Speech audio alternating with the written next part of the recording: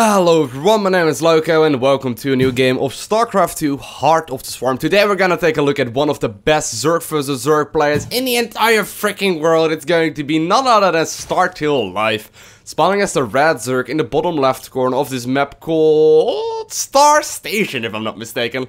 And um, yeah, it's going to be a really high level Zerg vs Zerg.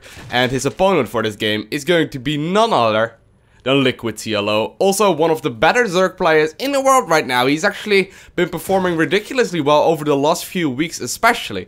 And this is actually the games that they played at DreamHack about a week and a half or two weeks or so back. Um, that actually wasn't broadcast. When you take a look like right here, there's actually no caster right here. So this game did not get casted whatsoever because both players were already kind of elim eliminated from the tournament if I'm not mistaken at this point. Um, however, they still needed to play a few games probably to determine the sixth and seventh or fourth and fifth. I don't know. I don't know the specifics, guys, but it is a really high level Zerg for the Zerg. And uh, I personally haven't seen the games just yet. I heard they were really good from other players, or from other uh, people rather.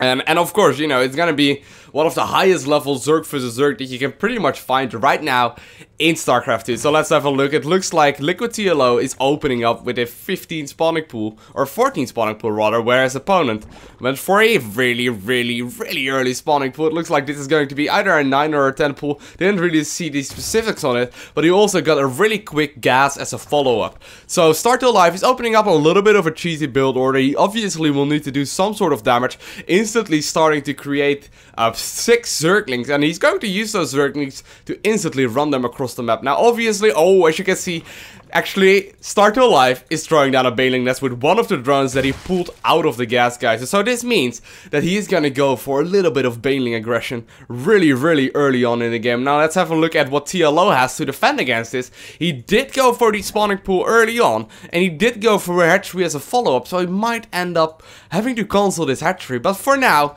Liquid TLO is going to start his queen. I don't think he actually... Did he see that? Did, did they, I, I, think they probably did run by this Overlord, but I don't know if Liquid TLO will have enough time. Yes, he's actually going to once again cancel the gas geyser. Is he going to opt to start a spike roll or not? He's actually doing it a little bit risky because he knows that this stuff is incoming, right? Yeah, he actually sees that the Zerglings are at his natural right now. Did he already see the Baneling being morphed in as well? He might have heard the sound at least. So he is going to be starting up the spine crawler now. A little bit of an engagement going off right here, but Liquid TLO might end up having to cancel and being forced to cancel the hatchery.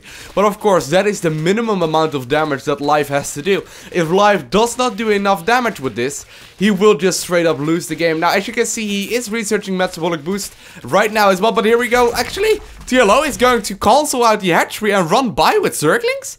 Is he really going to use a run by instead of just going for the engagement and defending his main base? It does look like it. Life is going to follow him with two Zerglings, but here we go. They're already fighting in the main base as well. There is one Baneling that he might be able to take care of, but it looks like ST Life is going to pull back for now. Liquid TLO instantly uprooting his Spine Crawler and his second Spine Crawler as well to put them in a little bit of a more defensive position. And he's also going to actually have two queens out right now to defend against it. But here we go. The Zerglings of Liquid TLO are across the map right now. But it looks like Life cleverly making a little bit of a wall of right there with Zerglings to make sure that Liquid TLO will not be able to get into main base just yet.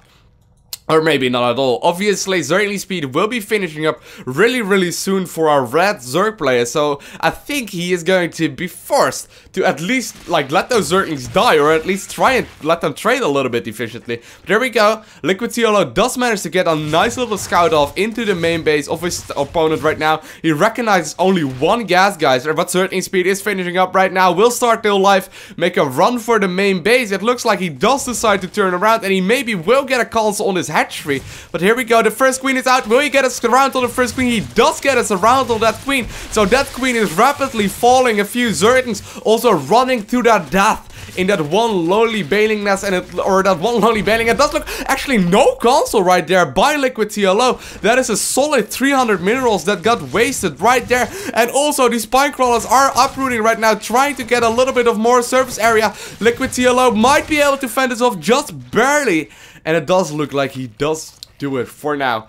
Meanwhile, on the other side of the map, Life is taking his own natural. He is starting his second queen right now as well, still having only one drone mining and gas, but here we go. There are a lot of Zerglings right now on the map for Liquid TLO. His Zergling speed is about to be finished up, a nice little detonation right there, but it's not going to be enough um, for Life, so it does look like Liquid TLO, even though he missed the console once on his hatchery, he will not be forced to console this once again. Now it does look like Life recognizes the threat of this situation and he recognizes how many Zerglings are up for Liquid TLO. So he does decide to actually make a few Banelings um, or a few Zerglings at home. He already has a few Banelings to be sure that he will be able to hold the speed of Liquid TLO and Liquid TLO is going to be pushing right now. Will he walk into the Banelings? No! He actually is on top of his Zergling control. He recognizes, oh my god, there's too many Zerglings out right now by for my opponent. So he will not be able to fight really cost efficiently, but here we go.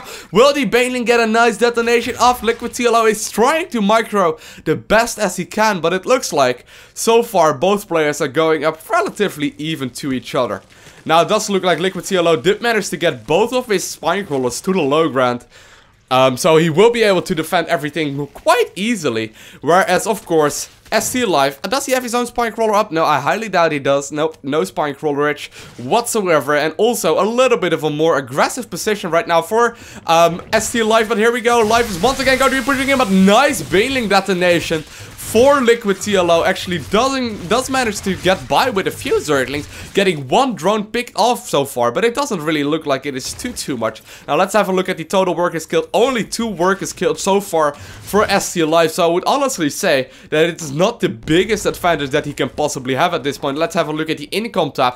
Um, it actually does look like Liquid TLO is, you know, he's actually, um, ST Life is already catching up again, but it is uh, relatively even in the income tab. Of course, ST Life wanted to do, or at least have it a little bit in his favor, because he was obviously investing a lot into a lot of early aggression, but it does look like that was not going to be enough. Now, looks like both players have agreed to have at least a little bit of a stalemate, where they will be able to drone up a little bit. Liquid TLO does manage to get a full scout right now off the main base, Will he be able to see what is coming out of those eggs? Nope, he does not see that all these uh, Zerglings are once again almost being morphed. Does look like Startale Life decides to go for the double evolution chamber play. And honestly, he's uh, uh, funnily enough, he's actually going for the missile attack upgrade plus one, which is kind of uncommon. Whereas his opponent, Liquid TLO, is going for the plus one plus one for the Zerglings. Startale Life is getting his um, Roach upgrade. But here we go, Liquid TLO is going to try and get the third base up.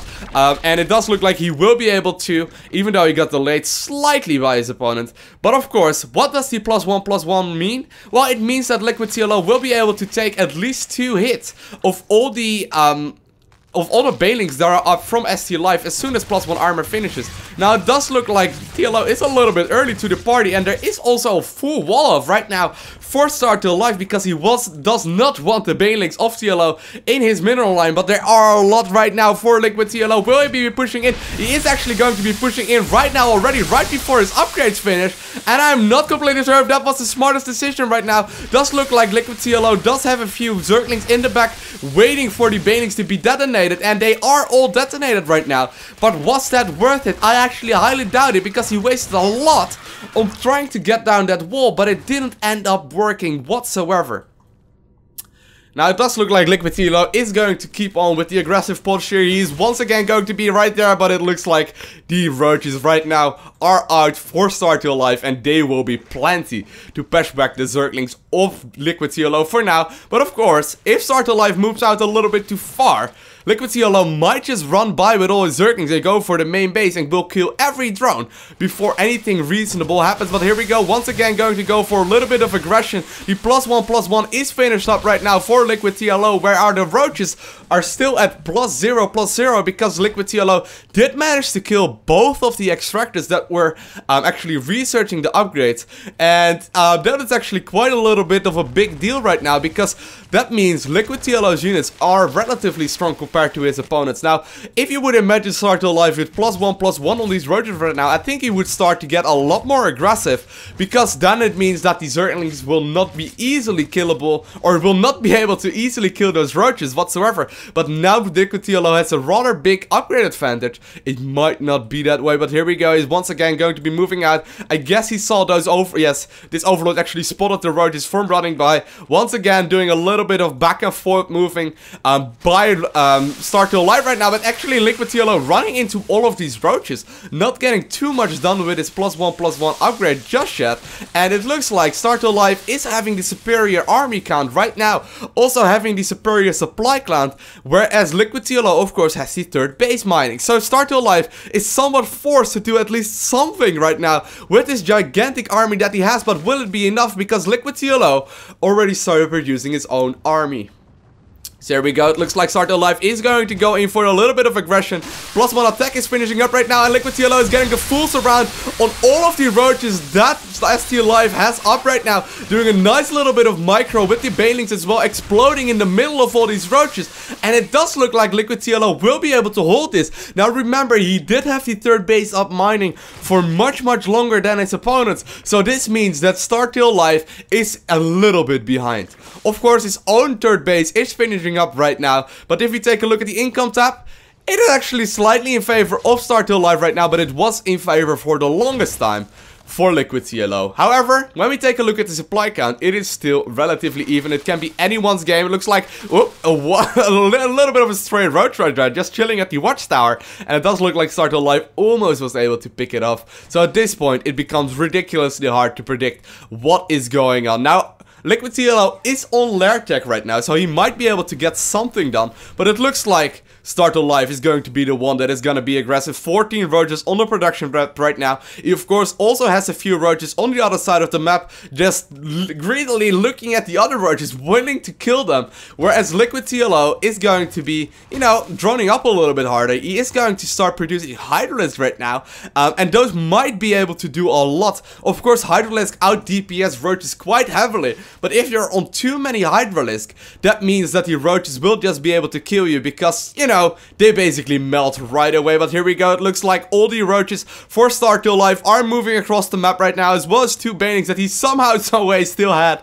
And he is going to try and pick a little bit of engagement. Now, keep in mind, there will be Hydralisk out. There will also be uh, Spine Crawlers helping out Liquid TLO. So there might not be much that RST Life can do. And it maybe even looks like he recognizes the situation before he even goes in there. And he decides to turn straight around um, with the roaches that he has. Now it looks like Startale Life is actually investing into Infestors, whereas opponent, Liquid TLO, has the Hydralisk up. Now this is a little bit of a weird trade-off, because technically the Infestors should be better, but you will need to hit a lot of nice fungals, so we will see how it's gonna go and how this final battle that is gonna commence any time right now is gonna go, and in whose favor this is gonna go. Now Startale Life is actually finishing up plus 2 uh, attack right now, not having the plus 2 armor just yet, deciding that he only wants to upgrade one upgrade instead of two of them.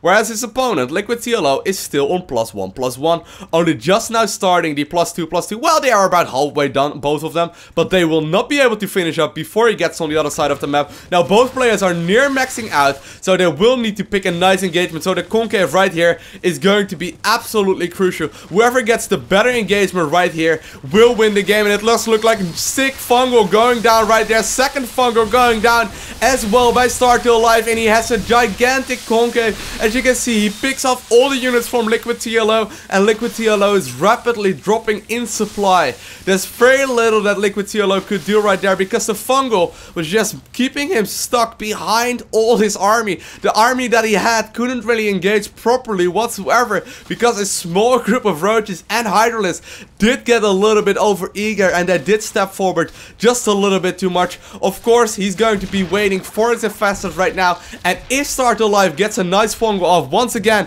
it might mean that he will win the game. And he does get a sick fungal off once again. A few roaches from the top. However, there are a few spine crawlers right now as well for Liquid TLO. And they might be able to help out at least slightly. A few infestors running through their death. But it does look like Startle Life has the bigger army right now and Liquid TLO GG's out of this game one. Let's jump into game number two.